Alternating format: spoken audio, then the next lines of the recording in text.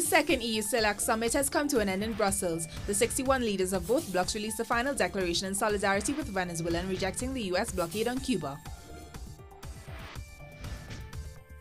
The EU signed an agreement with Peru and Colombia on the sidelines of the EU CELAC summit. By the end of this year, citizens of both countries will be able to travel to Europe without a visa.